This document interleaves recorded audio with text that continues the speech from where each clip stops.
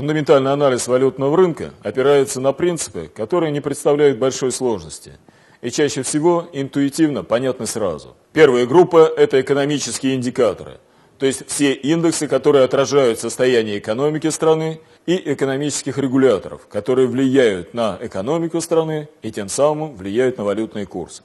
Важнейшим регулятором, который напрямую влияет на валютные курсы и действие которого наиболее наглядно, являются процентные ставки центральных банков.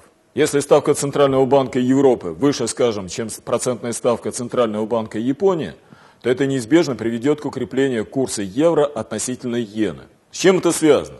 Дело в том, что в современной экономике наиболее надежными инструментами, которые приносят доход, являются государственные ценные бумаги и банковские депозиты, процент по которым напрямую зависит от ставки Центрального банка. При современном уровне свободы движения капитала – деньги устремляются туда, где выше процент. Например, если ставка Центрального банка Японии 0,5% годовых, а ставка Центрального банка Соединенных Штатов 5% годовых, то, естественно, выгодно за иены взять и купить доллары и разместить их в американском банке на депозите.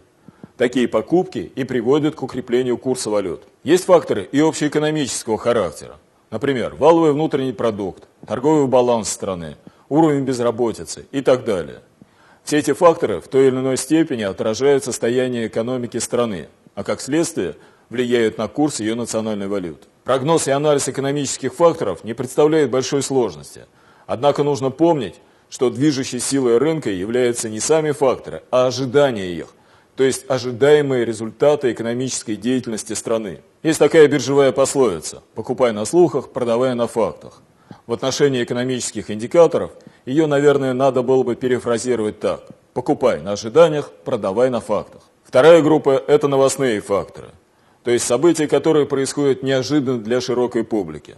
Это могут быть неожиданные заявления политиков, глав центробанков, министров, видных экономистов, техногенные катастрофы или стихийные бедствия. Это самый сложный раздел анализа, так как требует от трейдера быстроты реакции, хладнокровия и большой погруженности в мир политики и новостей. Дело в том, что очень похожие по своему смыслу события могут приводить к совершенно разным последствиям. Например, стихийные бедствия – формально очень плохая новость для экономики и, следовательно, должна вести к падению курса национальной валюты.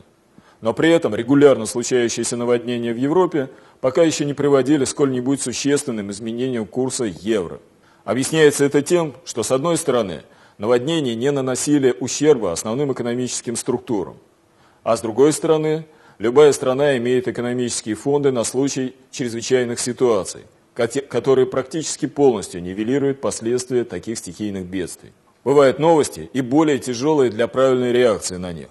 Например, это заявление политиков из-за завуалированности высказываний и сложности обычной общеполитической ситуации – Поэтому опытные трейдеры чаще всего стараются не торговать на новостях, то есть воздерживаются от торговли на выходе главных серьезных новостей. В заключение нужно сказать, что основной сложностью фундаментального анализа является то, что в один и тот же момент времени на рынке присутствует большое количество фундаментальных факторов.